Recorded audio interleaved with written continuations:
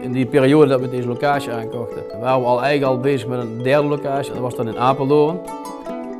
En eh, we hadden gehoopt dat het misschien wat later zou komen, maar het was net in die periode dat we dit bedrijf eh, met deze winkel openen. In datzelfde jaar hebben we ook de winkel in Apeldoorn geopend. Door diverse overnames die we ook gedaan hebben, zijn we misschien in korte tijd hard gegroeid. Ja. Mijn hoofdtaak is zeg maar, de buiten, de teelt, eh, de aanleg, de, verzorging van de gewassen, de personeel wat buiten werkt, de aansturing ervan. eh. Het hele buitenstuk, dat is eigenlijk mijn taak. Ik heb altijd vroeger ook die akkerbouw gedaan thuis.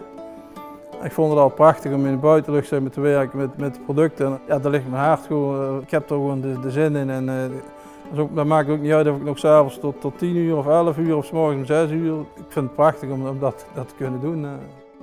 De overnames van collega-telers die gestopt zijn, is het bedrijf eigenlijk oh, ja, gegroeid naar deze omvang. Ook we hebben zelf eh, de laatste jaren behoorlijk gevel- eh, geïnvesteerd in nieuwe aanleg.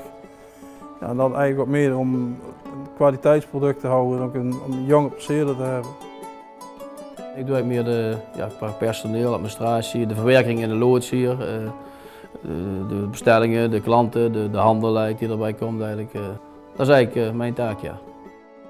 Qua verwerking eh, denk ik dat we het nieuwste van het nieuwste hebben. Qua schilmachines ook eigenlijk. Eh, We willen ook dat mensen kunnen zien dat ze ons eigen, dat ze ons product ook kopen. Dat ze op de verpakking, daar staat ons eigen logo op. Dat kan een klare maaltijd, daar zijn we mee bezig. En dat willen we ook eh, proberen volgend jaar nog wat beter in de markt te zetten. We dit jaar zijn dat, hebben we dat geprobeerd. Met de Greenery, waar we lid van zijn, dan middels naar de retail toe. Ja, we willen toch, als er ontwikkelingen zijn, zeker op zo'n gebied, dan willen we toch een, van de eerste erbij zijn. eh, om dat toch, eh, ja, dat, dat goed te volgen eigenlijk, ja.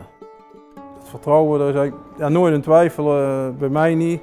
Bij mijn broer denk ik, ik kan niet voor mijn broer spreken, maar ik denk voor mijn broer, Suzanne denk ik ook niet. Volgens mij, de, de, combinatie die we hebben, die is gewoon perfect. Ieder doet zijn ding. En als er af en toe dingen zijn die we samen moeten bespreken, dan wordt dat ook gedaan.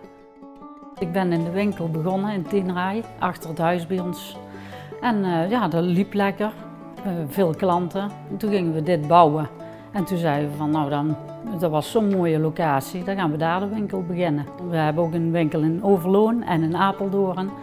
En die eh, stuur ik aan. Mensen kunnen een kopje koffie, eh, soepje nuttigen. En dan kunnen ze over het veld kijken. Die mannen van ons die zijn allemaal op het land aan het werk. En dan, ja, dat vinden ze gewoon heel leuk om te zien. Ja.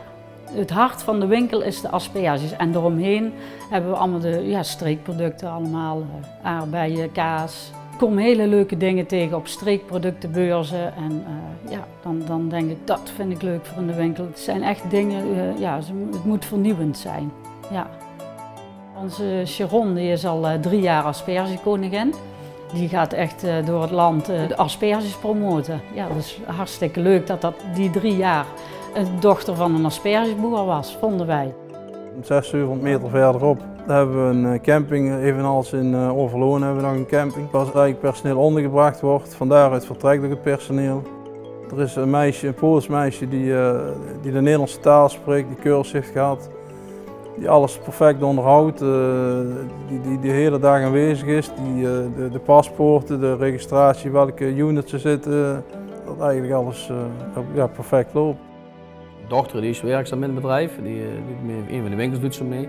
En de zoon die is eh, 17, maar die eh, zit op school, maar die loopt wel stage bij uh, asperge. eh, heeft bij Limgroep eh, bijvoorbeeld stage gelopen. En dat vinden wij mooi, want ik uh, doet je een beetje ervaring op. En die heeft een interesse om in het bedrijf te komen werken. Dus wat dat betreft, eh, als het zo gaat zoals het nu gaat, dan staat de volgende generatie eh, alweer klaar. Ja.